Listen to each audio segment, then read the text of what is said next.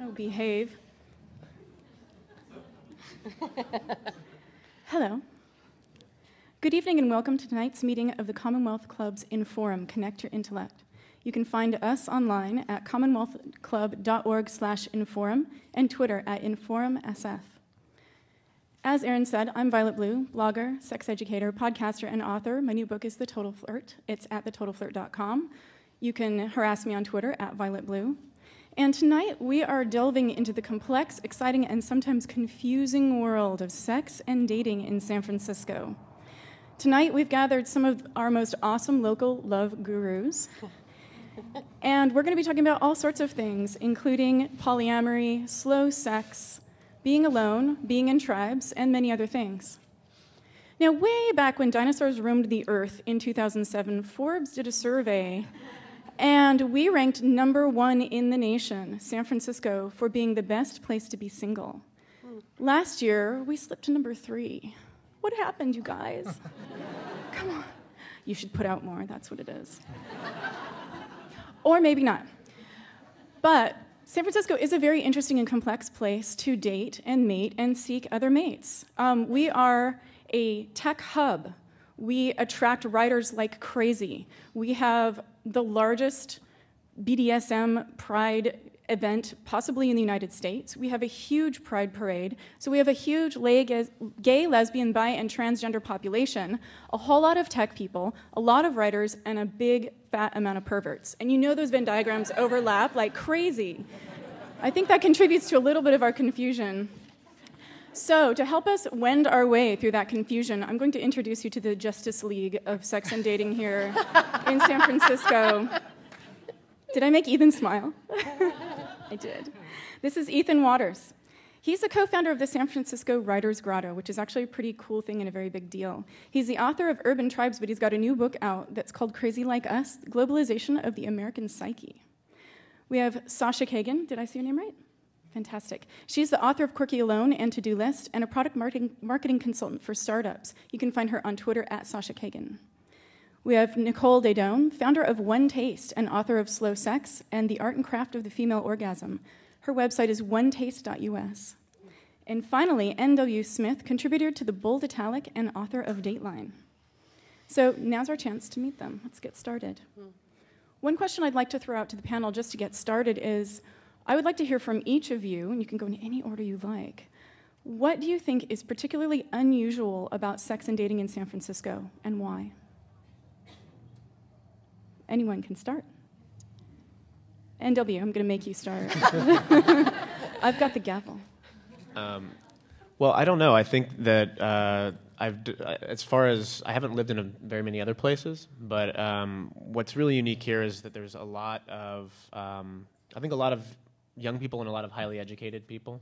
Um, so, and a lot of people that are that are really putting off marriage for, or getting more ser- a more serious relationship to just kind of have fun because they're doing a lot of other things, um, whether it's school or career or something like that. And there's just also a lot of stuff to do for young people in the city. So there's a lot more opportunities for young people to meet each other and and see each other out. So. So you see it possibly as a generational thing.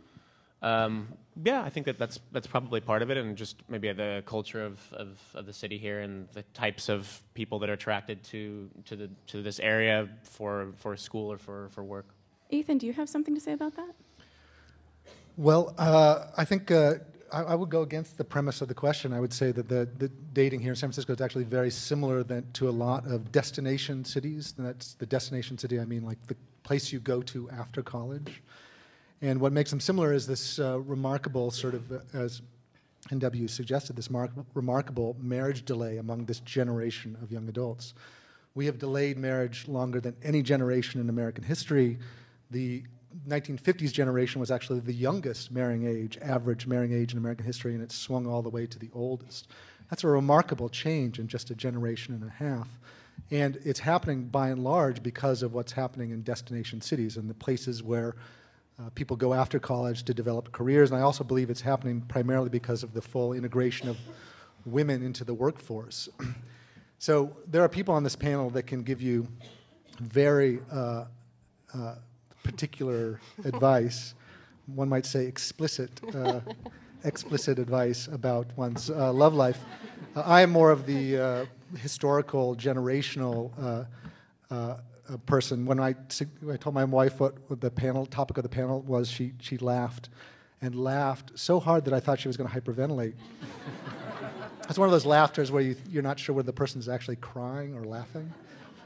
Um, but I do think it's important to take that generational perspective on uh, one's love life because I think you can, you know, if you go through 20 years of being single after college, you can look at yourself in the bathroom mirror a lot of times and say, well, what's wrong with me? Why haven't, why haven't these things worked out in the way I want them to work out? And you, can, and you, and you forget that you're part of genera- a generational trend and generational uh, movements that actually are making decisions for you, and you are just manifesting those, those changes. Okay, I'm going to interrupt you and also interject that one of the common stats that's thrown about, around about San Francisco is that roughly one in four people identify as lesbian, gay, bis- bisexual, or transgender. So, at the fear of accusing you of advancing the heterosexual agenda, um, I would like to also, I'd like to sort of throw in the mix of your conversation that your answer is incredibly valid for those people who are heterosexually yes. identified and are seeking marriage and, and can get married, right? Yeah, yes, right. exactly. Yeah, absolutely. Um, so my take on it is a bit influenced by the fact that I've been away from San Francisco for a year, traveling in South America. So for me, certain things that I noticed about San Francisco have just jumped out at me since I've been back. And one of them that I think is quote, quite obvious to everyone is the high participation in online dating and how um, you know being a tech hub, it, the stigma has almost entirely faded away in San Francisco. And what goes along with that, I think, has sort of infiltrated the way we think about meeting someone for people who participate. And one thing that struck me the other day, I was in Berkeley, I was in a cafe, and I saw a poster for a photographer who was offering social media photography in a natural, flattering light here's how to spruce up your online dating profile and increase your chances. So, I mean, I thought, oh, gee, this is a natural niche, but it also just gave me kind of a creepy feeling that um, we have to hire a professional to take a picture of us in our best light to get a date in the Bay Area. That's weird. I want to get back to that in just a second. Nicole. I think for me, it's it's the fact that we're so omnivorous, which you were pointing to, and when that happens, what do you mean by omnivorous? Uh, there's everything available. There's every single option you could ever imagine available in this city. Where I can, uh, so I, for example, teach about female orgasm. And i can walk i can be talking to a tech person. Oh yeah you know i teach female orgasm. And oh yeah they'll say like i you know i'm programming my computer. And it's like an everyday conversation. There's not another city that i can do that in. And you so, don't think it would work in missoula? I've tried it in other cities. And you know the blank expression just washes over. And i think that because of that, I think there's the most potential in this city to create the exact life that you want, to customize your life. And by the same token, I think there's the danger of getting lost in the sea of all of these different options and never actually rooting down and, and discovering the fundamentals in terms of connection. So, with that thought, I wanted to kind of go back to what you were saying about you got sort of a creepy feeling about people sort of marketing themselves for dating. And how do you think that's different now in terms of because what you're telling us is that people have an acceptance or a tolerance not only for sexuality in this city but for technology in this city mm-hmm. as well. So what do you think is different about that? What do you think has changed? Because you said you were gone for a year and that something had mm-hmm. changed. It seems to me that dating eh, has always been sort of a way of marketing yourself. Hmm. Well, I think it's sped up because so many more people are participating. And I had a conversation with someone about this. It's the feeling of an endless buffet of options. And because more people are in the mix, there's more people to try.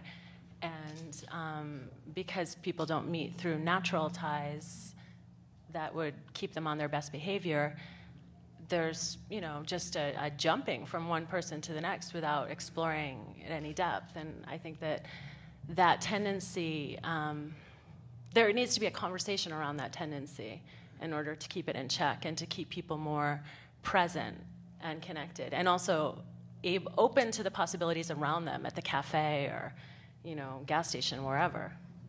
So, speaking to each of your strengths, I'm wondering what each of you think in terms of etiquette for sex and dating.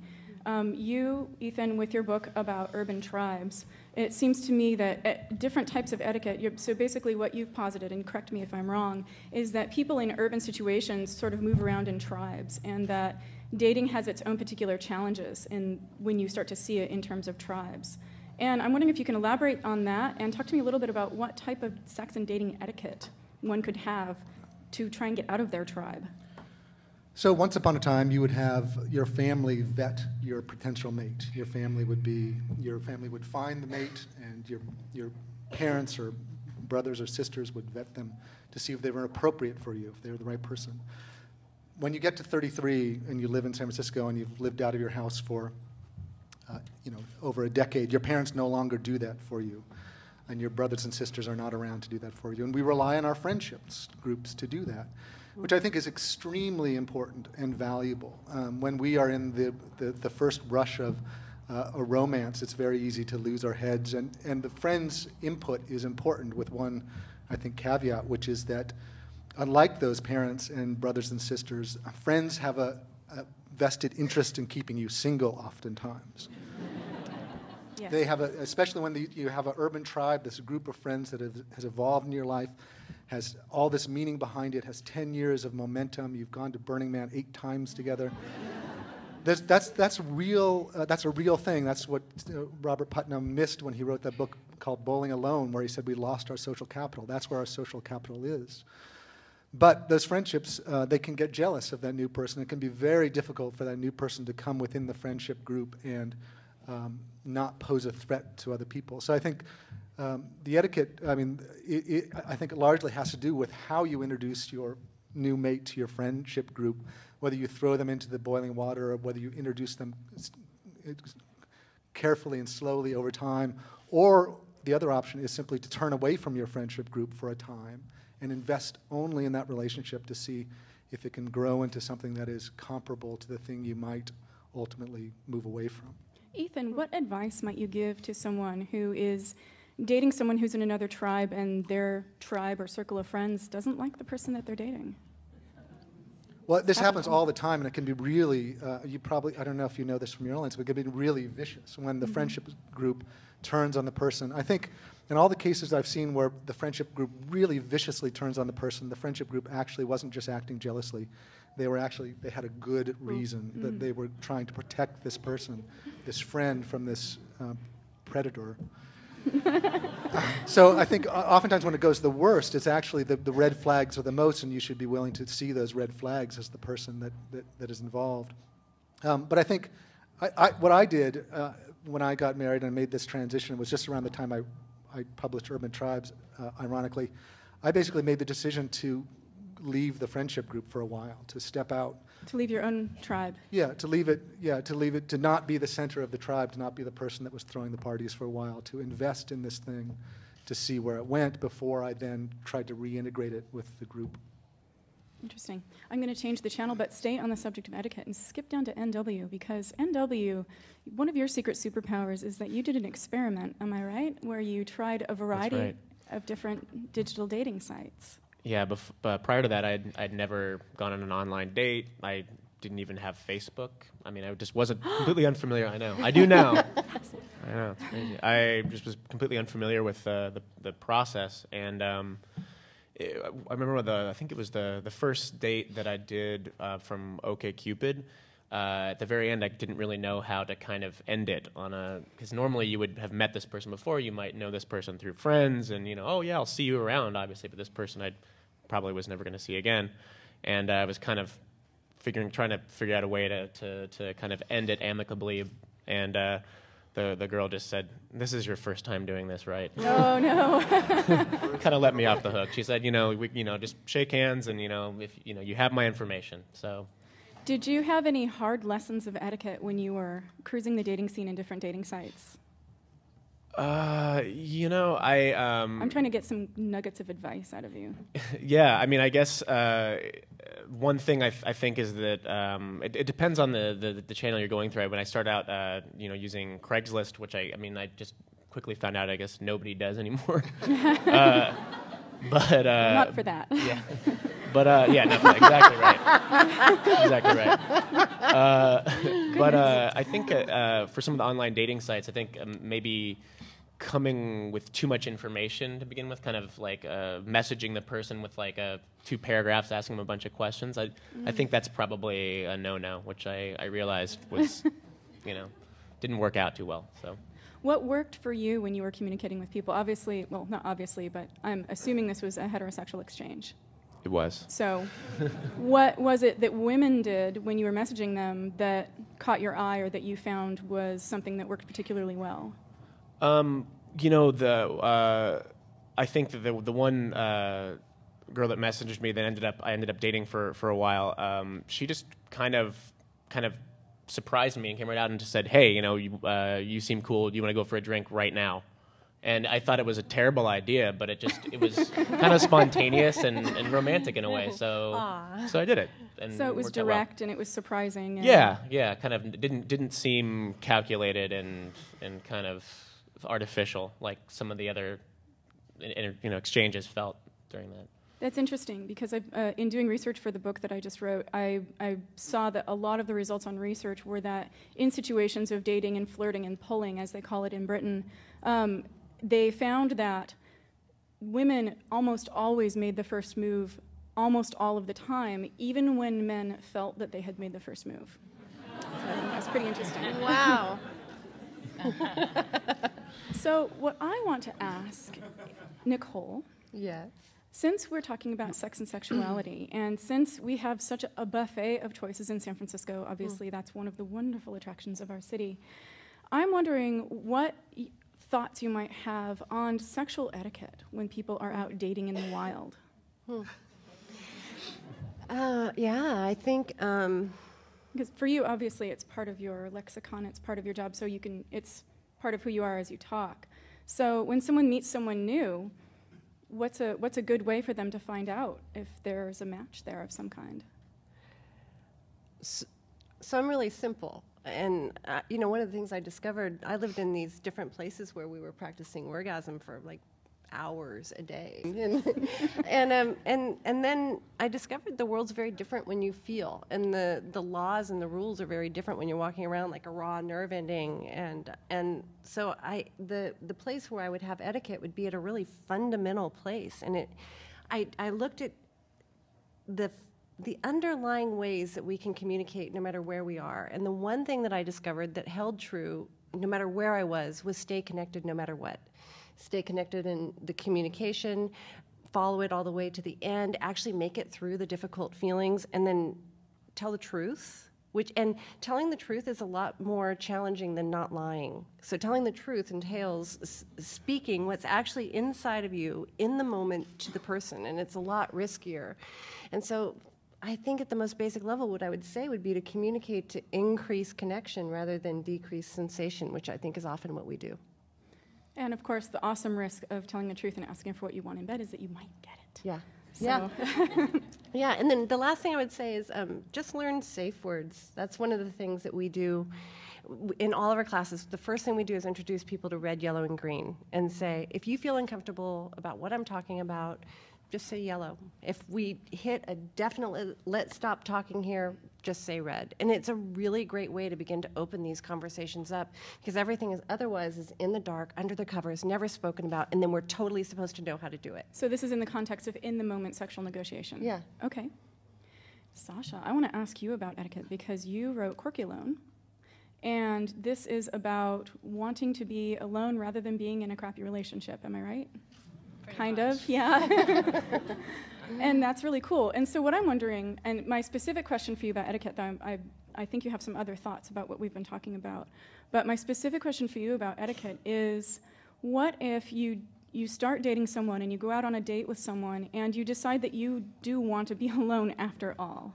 And how, what is the etiquette for getting through that gracefully? Whether it's from you know knowing that you want to go home alone that night from the beginning of the date to the end of the date, or maybe even sleeping with them and the next morning going, hmm, I think I just want to do my own thing. What would be good etiquette for staying quirky alone? Well, you could still be quirky alone, even if you completely hooked up with that person, just to clarify, Okay. because you can be quirky, alone, and married. Please correct.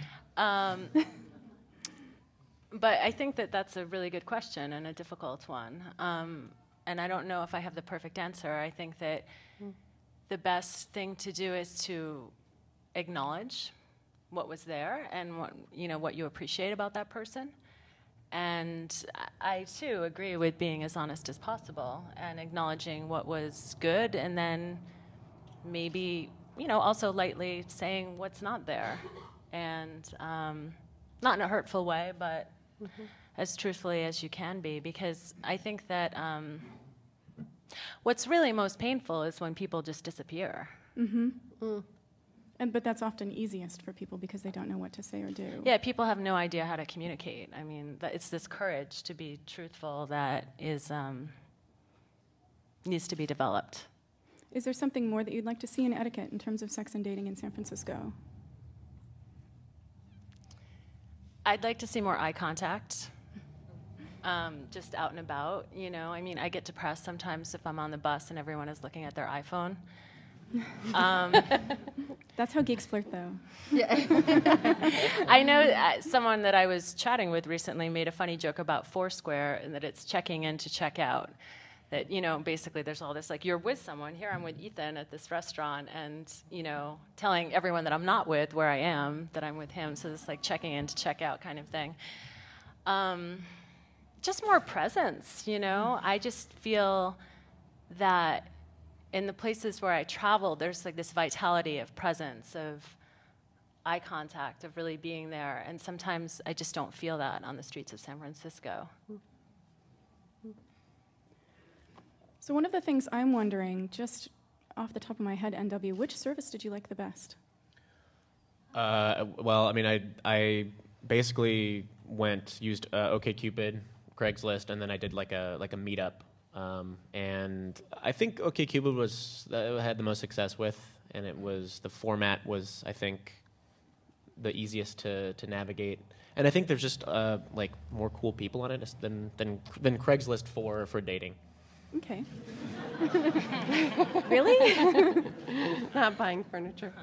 So, what's interesting too about San Francisco, and I, thi- I think a lot of you probably have noticed this if you've lived here for a while, and that's that we're very broken into neighborhoods, and uh, people have strong allegiances to neighborhoods, and a lot of people just don't get out of their neighborhoods or leave their neighborhoods very often.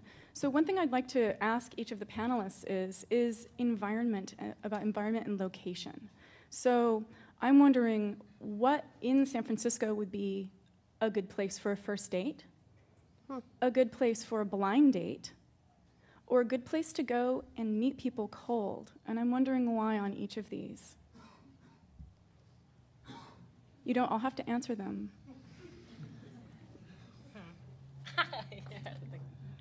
You're married.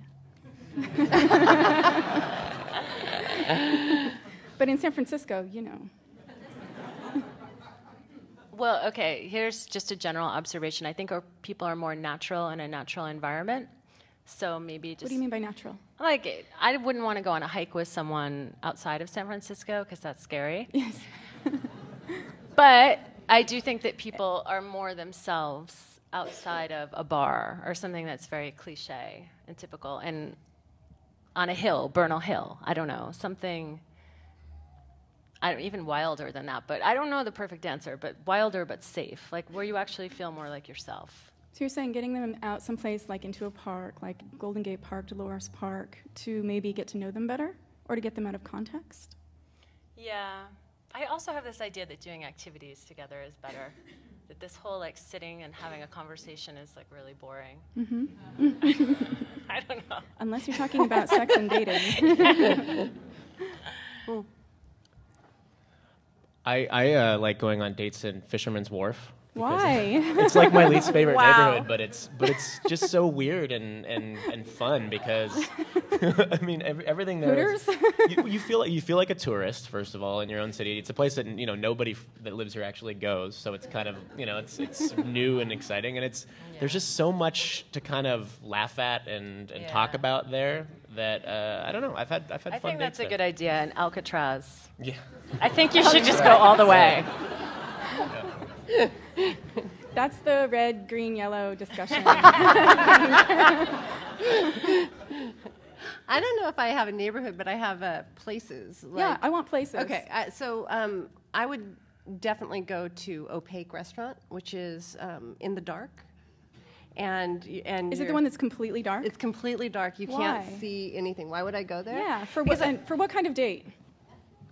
Uh, maybe not a first date. Maybe not. But, the first date. but actually, I, I might A even go for a first perhaps? date. but um, but I, I, I like uh, experience. I like experiencing people in, in different ways. I, I would also take them to Audium, which is this really I don't know if anybody's ever been there, but it's this really trippy sound wall place, and you get to see like the child in someone, somebody without all the layers of impressing you, and uh, or the exploratorium, different like tactile or sound, so that you get to access a different part of that human being, and then have an experience with them. Do you have anything to add? I can tell you back when I was dating many years ago that I did have one uh, uh, first or second date, which was um, Rodeo Beach. Uh, you can go, you know, which is just the first beach north of the Golden Gate Bridge. There's actually um, uh, carnelians that you can find. This little semi beautiful little semi precious stone, the very bright orange stone. They're actually you can find them in the sand of varying diameters, so you can go there and look for uh, carnelians. So I'm a big uh, activity, um, outdoor activity person takes the pressure off. You're doing something together. Now, what I think is interesting is what you didn't mention, each of you. None of you mentioned cafes. You all seemed averse to bars. Why is this? It's overdetermined. It's been, I mean, you've had, if you've been out dating for any amount of time, you've had those dates. And for me, like, it's hard to feel excited. Like, I, um, I met this woman when I was traveling who had a really fascinating strategy around dating. I'll just brief, briefly describe it. She was having men fly her back from Argentina to California for first dates. And her idea was that you had to fully believe in the possibility and fully make it romantic. The possibility of what? Sex? Uh, or just a. She was looking for her forever I mean, best friend, as she called it. But without asking someone to fly me to another continent, to actually do something interesting and creative, it just gives it more of a spark than I don't want to go and get a drink. I mean, to me, it's just not, it doesn't inspire me. Okay. I'm Was, about were the there any yeah. reasons? Okay. I think it's kind of been there, done that. I think if it fits into an overall night of experience, mm-hmm. then it's great, or a way to wind down. But I think there's so much in this city. It's such an incredible place to be that it's by the book is kind of boring. I, I think that especially for, for first dates or blind dates or online dates, I think bars are actually really great because it you're not it's not dinner, it's not an activity that you're committed to the whole time. So if it goes horribly, just you know you can keep it to one drink and then oh I forgot I had some something to do crashed. right exactly. Yeah. so uh, I think in some ways it can be it, it can be pretty useful. Also, there's the, if they're drinkers, there's the inhibition lowering atmosphere, there's alcohol, which I would argue also is for people who are non drinkers, that what the three of you mentioned, talking about going outside and sort of getting outside of the usual space. I noticed that in each of the three of your answers, the inhibition lowering factor wasn't alcohol, it was a shared experience. Mm-hmm.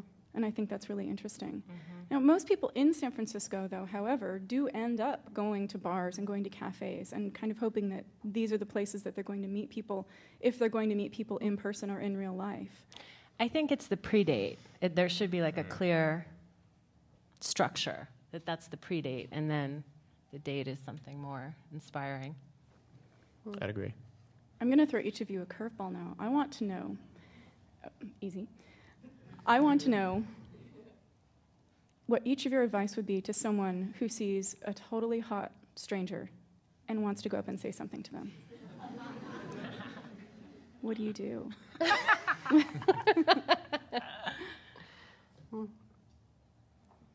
Freeze.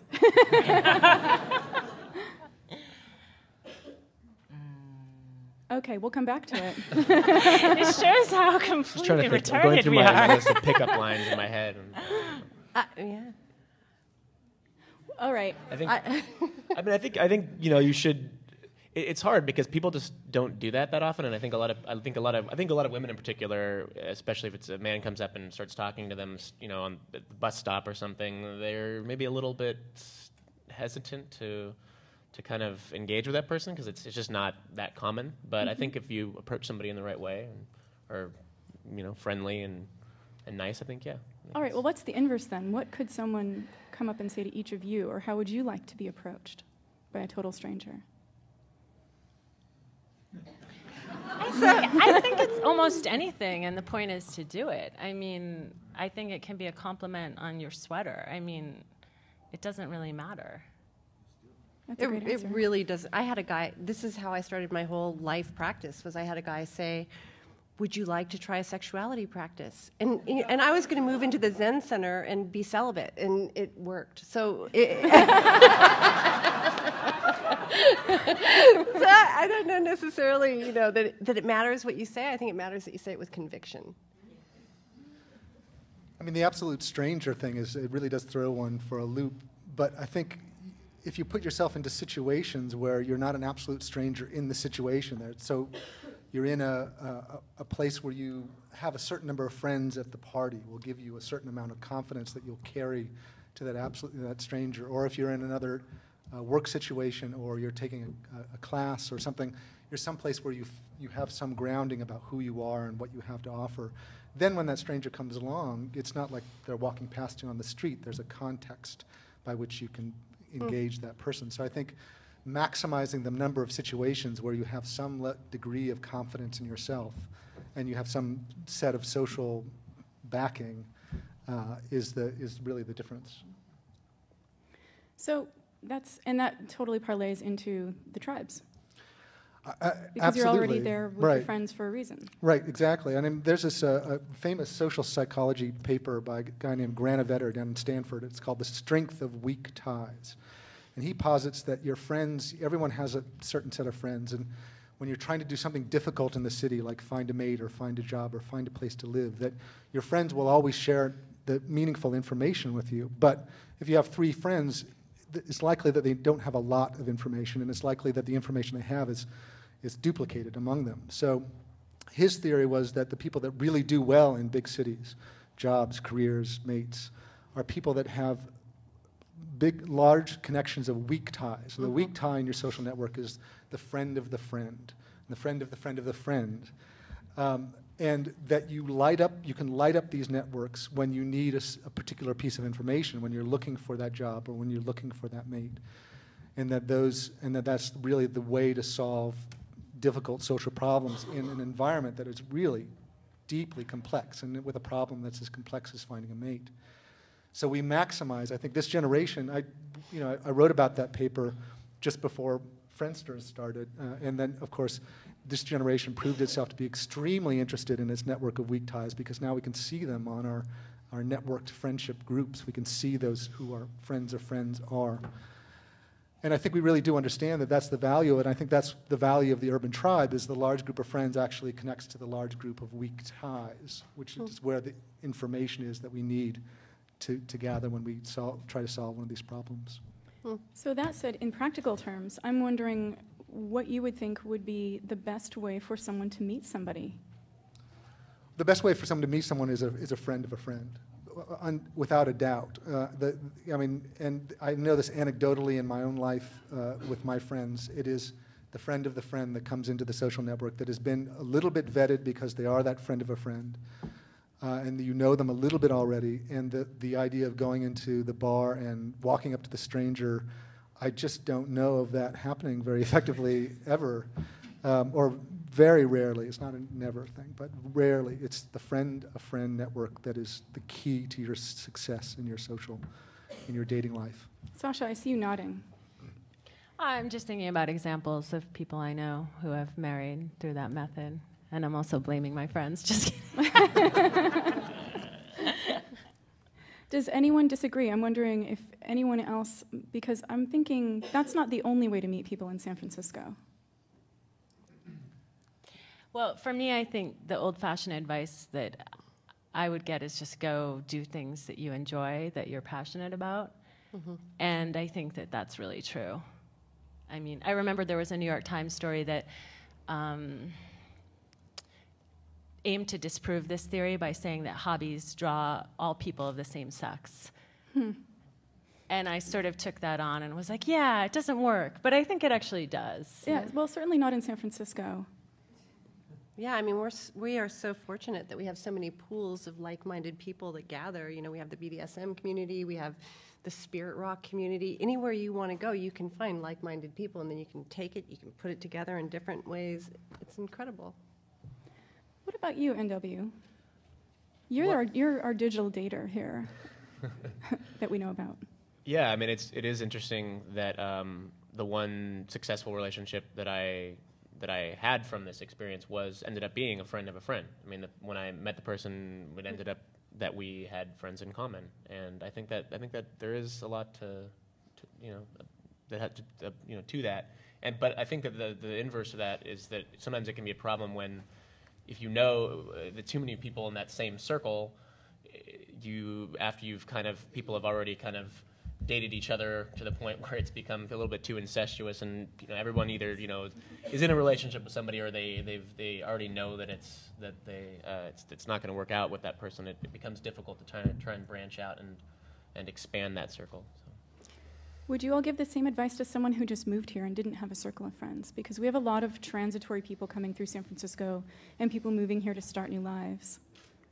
So, what about the people who don't have those circles of friends? How would they go about meeting people in San Francisco? They could come here. Right. I, I think you you can find communities. I mean, that's what's so cool. Like the, with the Guardian and, and the Weekly, and there are so many different experiences you can have, and it's so easy to meet people. I remember I remember when, when I first moved here, going to the Castro, and then going to uh, artist ATA, and there there were just so many different environments to meet people. And then when they start to overlap, then it feels like you know people. We're such a small city. We are we're we're a tribal city.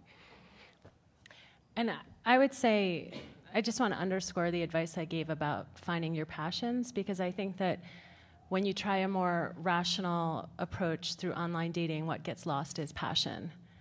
And I mm. remember I had this funny conversation with a friend in Brazil who's like, I think a relationship has to be 70% passion. And this is what makes it stick. And I've just always noticed about San Francisco, like, why does nothing stick? You know, like somehow it's so hard to get past three dates or something like that. Mm. And I think what's missing is is passion. And then if you if you go out and find what you're passionate about, at least that person is observing you in your most glowing state. You're most alive, and that person is too. And and that's that's who you want to be. None of you are saying to use dating services. Why is this? I I mean, I, I, I guess I had, uh, I had, you know, ups and downs with my experience, but I, I, you know, it's, I, I kind of still, at least, I, ideally, I think that it's, it's better to meet some somebody through a friend or in a, in a more old-fashioned situation. I don't know. I mean, Why? What's the downside to digital dating? For you, at least. You know, I just I, I honestly felt like it was it was very difficult to to to um, tell what what kind of how the person is actually going to be in real life based on what their profile is because of what we've been talking about this this marketing the, the people are putting forth and it's the same with Facebook and a lot of other things they put forth this kind of you know image of themselves um, you know I, idealized or, or what they want people to, to know or think about them. And it's just it's it's it's a facade. It's not really necessarily who the person really is what they actually look like um, and how they kind of actually are when you meet them in person. So you know sometimes it can be a little a little less than genuine. Do you think that there are strategies that people can use to get past that in a digital dating situation? I don't know. I, I didn't. I didn't. Just, I didn't use any of them. I just kind of, you know, threw up a couple funny pictures of myself and put a couple of funny lines in, in my profile, and you know, just hope people were interested. I didn't. It, it was. It's difficult to kind of really put to, to summarize a person in a little in a couple of captions and pictures. I don't know. I have two tips. One is that you have to take it more seriously and write really honestly about who you are and what you want and get very clear about it. And then number two is go out with very few people. Very few people. Yeah. Why is Only that? because it's a big waste of time mostly.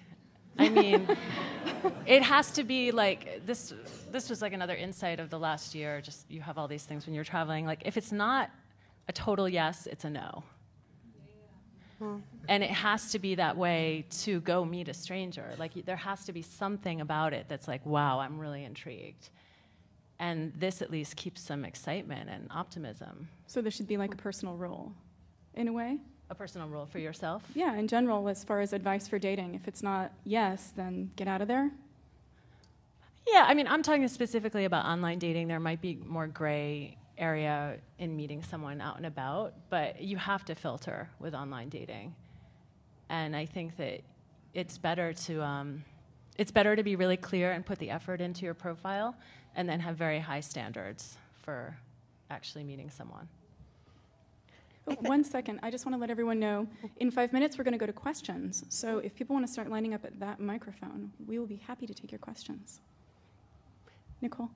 I happen to love all things digital. I mean, I think that's one of the reasons why I love living in Silicon Valley. And I, I do think, though, that it hasn't quite hit the cool quotient yet. That we've we haven't quite stepped over. I have a friend who works for one of the major dating online dating services and he was saying the problem that they face is that most people who go to online dating sites go because they perceive that they ha- that their dating is a problem and that's the one piece that they can't work in the background to have it be that people are going because it's fun, it's an experiment, they're learning to actually work with digital stuff, this this whole other world that's available. It's it's kind of like that it's a problem. And I think there's this other element where um, we're- we present ourselves as being so polished, and it's almost like you know, like meeting someone, you know, holding your breath in, like you, so that you look really thin, and then you never get to exhale. I think there's this way that we haven't quite had it become real or tangible or palpable enough. Yeah, I have this idea called radically honest online dating. Nice. and I wrote a blog post about it. And yeah, it was basically like unflattering photos. My my latest thought was video your therapy sessions. and it's all about finding the problem that works with your problem. All of your recovery groups that you're in. Dating via processing. so you, I liked what you said about the personal rule of if it's not yes, then it's no, then you should just bail out and find something else. I'm wondering if you have any anything in terms of what you would recommend for people for exit strategies when they're out on dates and they're like, this is a no. Besides, I got to go to the bathroom. I mean, do you just say it flat out? I'm not feeling this and I've got to go? The problem is that I think some people might react with hostility from the rejection.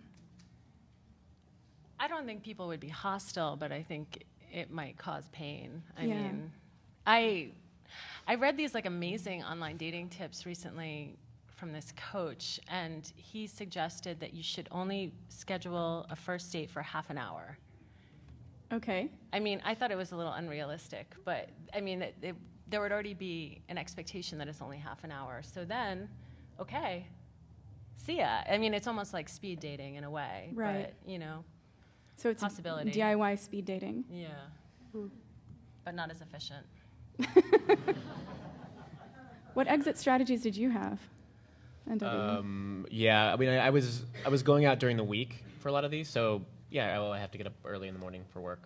I think that's that's a pretty easy one. Um, but, you know, and it, it was true. So, but I, I think that you know, I think I, a lot of times, especially with with online dates, there's really not a lot invested for either person. So I don't think it's that big of a deal to kind of say, hey, this just isn't working out for me, because you know, it's you've only been with the person for 20 minutes talking or half an hour and they probably aren't going to be that hurt. You know, I, I think I think that's that's probably okay. so that would be the plus side of digital dating. Yeah, the absolutely. expectations are already lowered. Right. So I think, are we going to go to questions now? Great. So, on the subject of um, online dating, this is something that uh, I've been thinking about a lot for the last like three months or so. In fact, I'm in the process of trying to figure out the right way to do online dating. So, it's a pretty large industry, there's a lot of money in it. Um, it's also an industry where the most reliable study that I know of cites about a 30% satisfaction rate. Um, and actually, this panel is actually roughly there. Three of you are pretty down on it, one of you is lukewarm. so I think that adds up to about 30%. So I think a big problem of this is that the existing players are pretty bad. So if we look at OkCupid, which is the darling of the industry right now, it's a site where men spam women. And I apologize for the heteronormative bias here. I have no idea what, it, what it's like in the uh, LGBT community. But essentially, there's even if even in the city where there are more women than there are men, men tend to send messages to like the top three percent in terms of looks, and those women receive a ton of messages which they're disinclined to reply to because they're a variant of like "Hey baby," or yes, you ladies who are on OkCupid, you know exactly what, what, what, what, I'm talking about. Oh, so then the other third of the messages that get sent out are like templates because the guy realizes, okay, there are very few replies. I'm going to send as many things, and he pre-writes a paragraph, doesn't read her profile, sends out these messages. I'm going to cut you to the question. Okay, the question is, what's the ideal? Like, the problem is that the current sites are bad. Do you have an opinion on how to improve the experience so that it's not a matter, like, how would you map the things that you think work in real life to an experience which happens on the internet.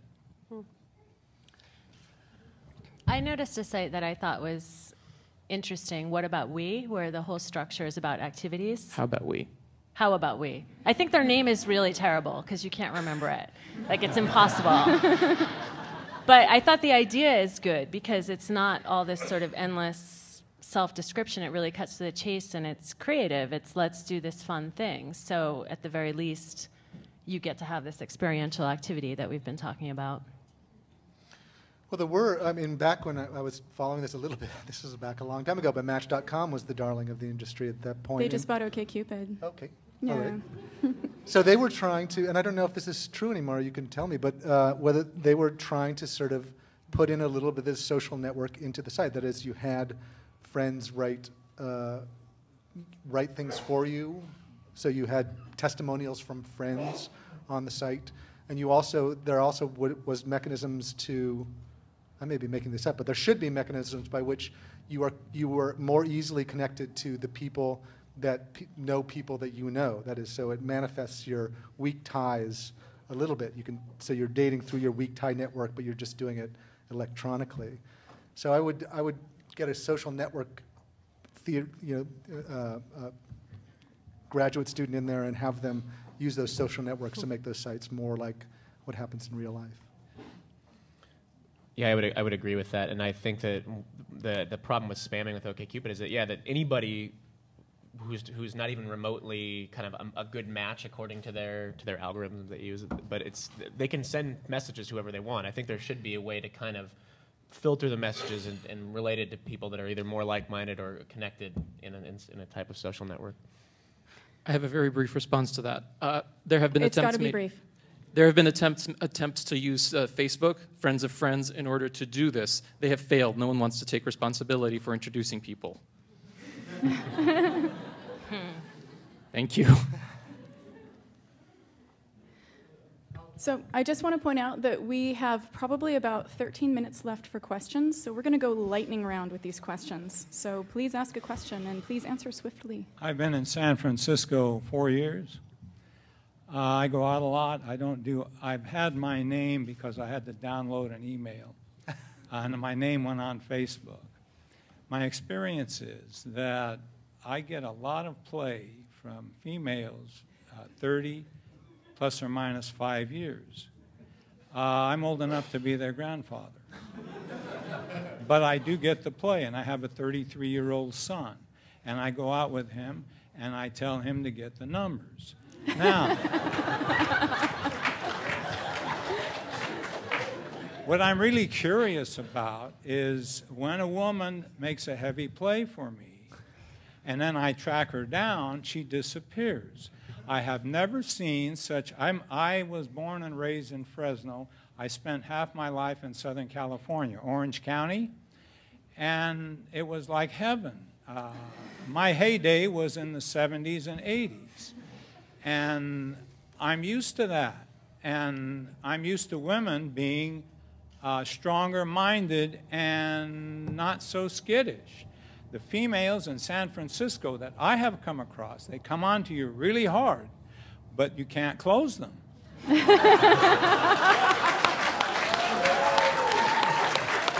I'd, I'd like to know what that's about in San Francisco. They talk hot, they act hot, they look hot, but they don't close. Now, I want to make a comment. One of your earlier comments was that uh, ladies, uh, you're not going to have any fun having sex, and I've had my share. The woman picks her mate. Now, my experience in San Francisco is they pick me, but they don't know how to close me. That's, I'd like to have that addressed. Anyone? Well, I, I think it's a really uh, interesting comment in terms of there is something about San Francisco that it appears to be open, like sexually open, and you know, experiment. And there are all these communities, and there's this thing you're doing with orgasms over there, and and uh, it all seems. But it, but in reality, it's the, the etiquette in all those settings is very intricate and very hard to to to enter from the outside and understand it. And and I've always I felt I've always felt left out of those. Uh, I've never was invited to the though the parties that that you know where that stuff went on. but it's so it, it's this weird dual message that it's like oh we're so open and everything's going on here in San Francisco and yet nothing's going on. In a, way- you know, Uh, I, in a lot of I'm the ti- guy lot of that wrote. Loosen the Women Up on the board outside. Oh dear, yeah. So, Nicole, we need to run through this fairly quickly, but um, uh, what advice would you give to get my friend laid? Obviously, he's not having a problem getting the lady. Now, understand, uh, you, have, I have you have to make the cut. I've been with some pretty sophisticated women. He's sophisticated made the women. cut, clearly.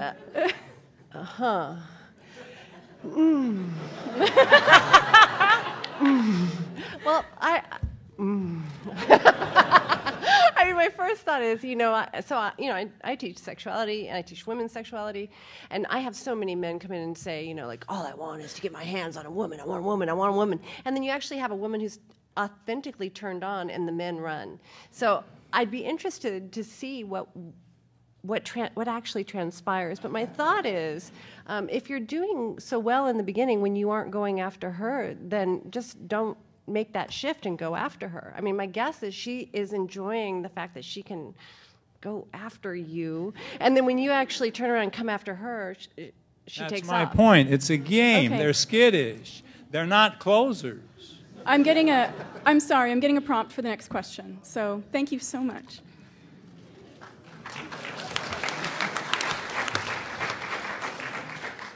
Hi. Um, so I'm a little nervous, like on a first date, but um, I've lived here for about three years, and I've done like I've closed the deal a lot with people on with people on Craigslist and OkCupid, and you know, you name it. Um, and I've realized that I don't really want to close the deal very often. I really want a partner. Um, and I found myself kind of going from one extreme to another of being really open and ready and excited easily by random people, but and then also now wanting like really mainstream relationship, you know, baby by maybe 35. Is that too much to ask? You know, um, so I get too serious, I think, and I'm wondering what your advice is in this pool for like letting people know that what I want is something long term and serious, but staying fun and happy and light in the midst of it because there's so much going on. Any quick answers to that? I have advice. My my advice is gradient dating. There is this way that, it, it, like, I, I hear people dating, and it's sort of like, either you're, you're the one or you're out of there, and the, and we don't actually take the time to really get to know someone. And I, you know, I have so many women come in and they say like, oh, I started dating someone, I totally love him, he's the one, and then he's out of there. And I think there's a way that we can actually look at it like getting to know other human beings and actually practicing connection. And that that it, then it naturally transpires rather than walking in with this huge agenda that someone feels as you sit down at the table so, you, to paraphrase, coming in with all agendas yeah and seeing if one fits. yeah But Yeah. I just want to add one thing is that you're only looking for one person. So I think that with online dating, you can feel like, oh, I have to be popular. I have to say something that's going to please a lot of people so I can get mm, emails and feel validated by that. But you can, I think part of it is letting go of that, and you're just looking for one person. So mm-hmm. I think it is good to be specific about what you want. You also have to watch out for the stall, which is common among dating in our generation, which is that uh, you get to sort of the, especially if you move in together, you get you hit a stall. You know, men are oftentimes quite happy with the stall. It can go on for five, ten years. You know, where you just sort of hit this point and you're living together and you're monogamous, but you're not progressing to, you know, getting married or having children or whatever, making a lifelong commitment. and so I think uh, you know, keeping an eye, you know, I, I had a friend that once told me that, that he had a three, three, three uh, lesson. And it was that three months you needed to be in love, at six months you needed to be going, you know, a couple, and in nine months you needed to be on the road towards the thing you really wanted. And if you let it, any of those periods sort of go too long, that you could, you could be in trouble. You could waste a lot of time. Interesting. Time is precious. Thank you. Uh, one quick interesting stat that um, I've read also is that if you're actually interested in someone, you should let no more than two days go by before contacting them. After two days, interest begins to wane. I think that's interesting. What's your question, sir? Uh, well, first, I want to thank the moderator, at least, for trying to make it a little bit less a super straight club in here. Cool, thank you. Uh, uh, and so I don't know exactly what responses I'll get from this, but in the last, you know, year and a half or so, for a certain part of the city, sex and a little bit of dating has changed a lot. And so I'm wondering what any of your thoughts are on services like Grindr um, that have, at least within a certain segment of the community, really changed, you know, some old behaviors that used to happen at like Buena Vista Park or someplace like Eros, and now happens on the bus instead. Yeah, and Starbucks. Right. Yeah, exactly. Any comments? I I, th- I think they have Grindr for straight people too, and I, I, I don't know anything. I don't know anything about it. I mean, my my the the, the only feedback I've heard is from uh, uh, gay male friends, and they're kind of just think it's a little bit.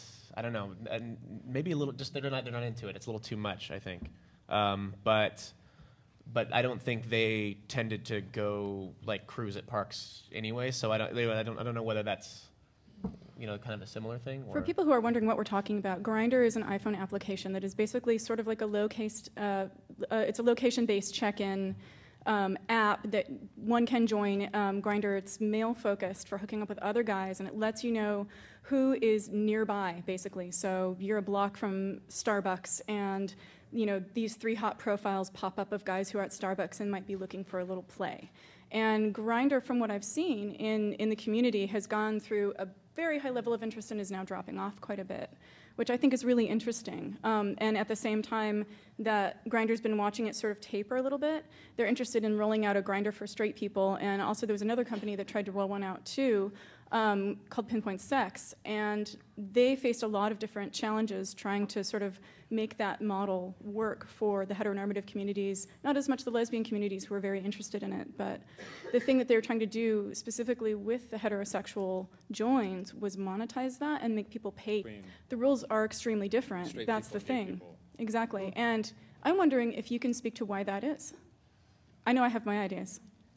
Um, I would say uh, from the outset, I think that the power sharing is very, very different. If you are a man approaching a man, that there's the same level of like victimization, the idea that you're going to be victimized, uh, it doesn't really exist in the same way, and that you, like uh, same gender relationships and approaches are from the outset much more equitable. And I think that within at least the gay male community, from which I can speak of, there's a greater uh, tolerance and much more acceptance about going up and being approached and going up and talking to someone. And there's this long history of cruising or like the eye contact or being able to tell who is part of your tribe while you're out on the street, especially if you're not out or that's not an obvious thing. There's a language, there's a lexicon, there's a means of behavior, there's protocol, there's physical mm-hmm. signals. Mm-hmm. And the reason I'm making all of the heterosexual people sit through this is because it's important, mm-hmm. because you're here in San Francisco, and this goes on all around you. And a lot of my straight male friends are like, God, I wish I was gay. It would just be so much easier to get laid.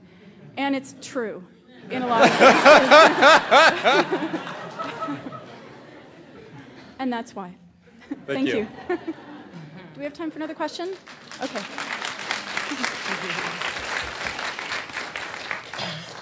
Hi. Hello. I'm um, really happy that we're having this conversation. I'm actually a dating coach here in San Francisco. Hey. And uh, a lot what I see is actually um, a loneliness. And I think a lot of people are feeling a lack of community. Where do I go besides a bar? You know, if I go to a yoga studio, everyone leaves right afterwards. If I go to a cafe, everyone's on their iPhone. It's like people are looking, are so looking for connection. And what happens is, is they really they want the relationship, but they're willing to settle for sex or willing to settle for the connection for the evening. But what happens is become more and more distracted. There's less and less of what we really want. So I don't know if any of you want to speak to that of what you've noticed with your research or any ideas for helping people to feel more connected, more sense of community, and less less actually lonely. I can if no one else has anything. Sorry. um, Well- no, I just got done doing a ton of research on this. So, um, one of the one of the things that I noticed that emerged in the research was that there were there were three primary things that contributed to people flirting and hooking up and getting together, specifically in situations. It's like you said, if you go, if your passion is yoga and you go to the yoga studio, the only person you're going to kind of connect with is the teacher. Um, so, what, the three things that they noticed were um, sociability, um, inhibition lowering things, and shared interests. And sociability talked about specifically, I call it the CIS test. And you can do the CIS test on any location that you go to in any situation that you're in. And the more CIS a place has, the more you're probably going to get something. So, um, really quickly, so like sociability is the physicality of location. So, this has very poor sociability because we're all sitting in chairs and we're all facing forward. If we were in a bar situation where everyone was standing and mingling, or a party where there was a snack table and there was something over here to do and there were some video games, that would be really, really good sociability. So that mm. increases your ability to talk to strangers.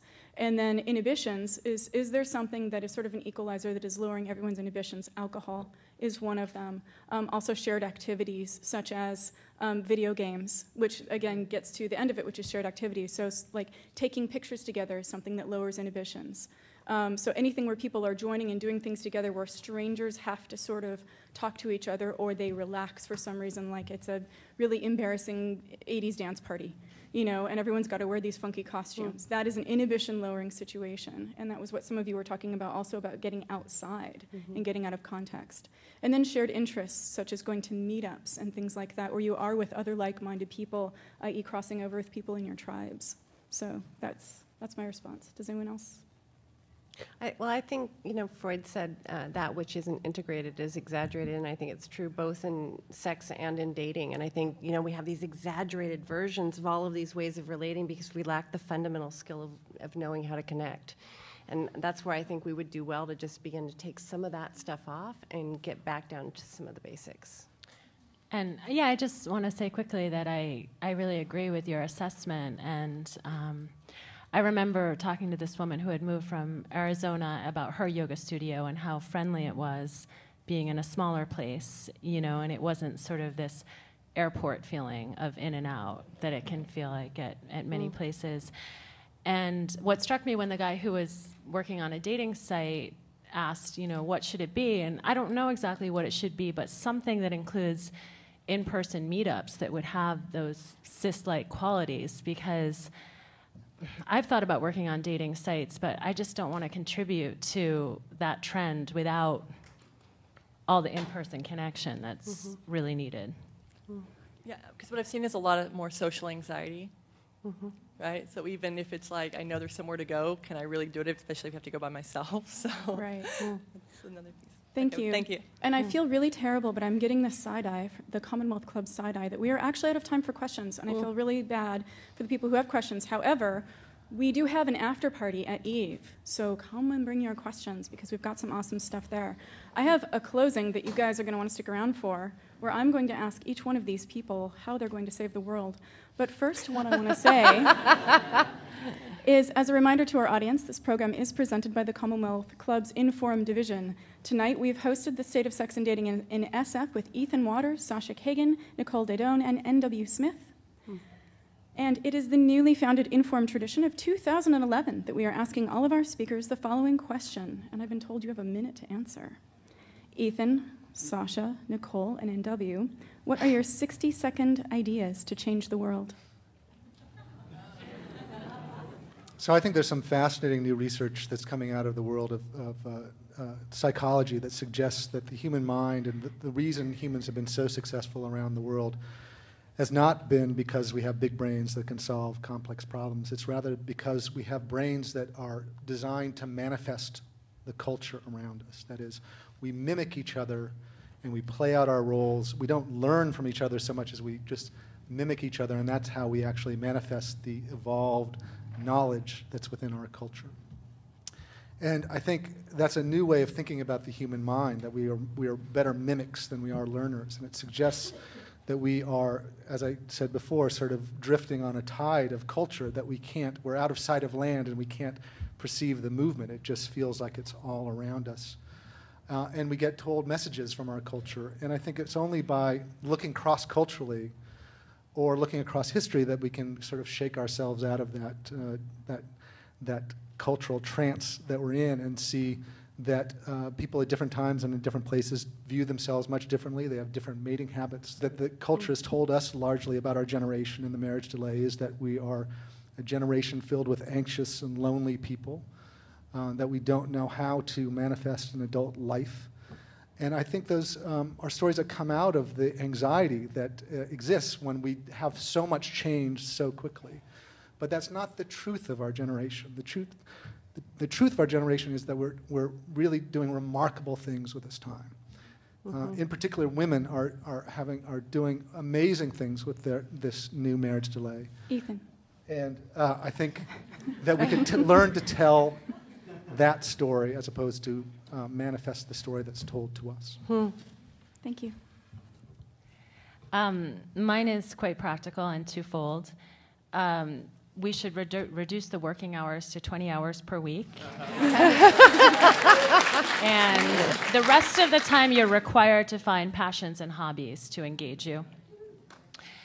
And I think this will create more time for friendships and community and also finding the love of your life. And there should also be a forced month sabbatical, and people should be required to leave the United States. We're just talking about changing the United States, not the whole world. Okay. But yeah, that everyone has a month sabbatical and you have to leave. Hmm. So this is actually my question when I started my whole journey, and I was a teacher at San Francisco State, a graduate teaching associate, and they asked a question, um, "What do you want to know about your sex?" And you know, I was this passionate young feminist, and I thought we had won and we had sexual liberation, and it came back, and everyone said. Uh, what's wrong with me, basically. At this really fundamental, rooted part of human connection, we all felt wrong. And that was what set me off on this whole journey of exploration. And what I found is, you know, even in Tibetan Buddhism, orgasm is considered the moment of enlightenment. It's the moment when all of your ideas about how things are supposed to be fall away, and you actually experience another human being. You actually experience the, the world in raw connection. I don't know if you saw the movie Shortbus, but there's a woman who can't orgasm, and then at the end she orga- she has orgasm, and the power grid lights up. And I think that there is no better way to light up the power grid than with orgasm. There you go.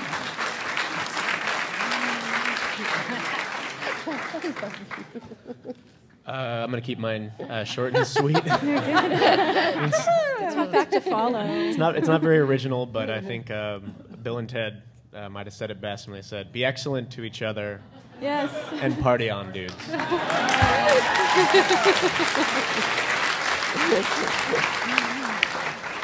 Okay. So let's give a big round of applause to the panel for sharing thoughts with us tonight.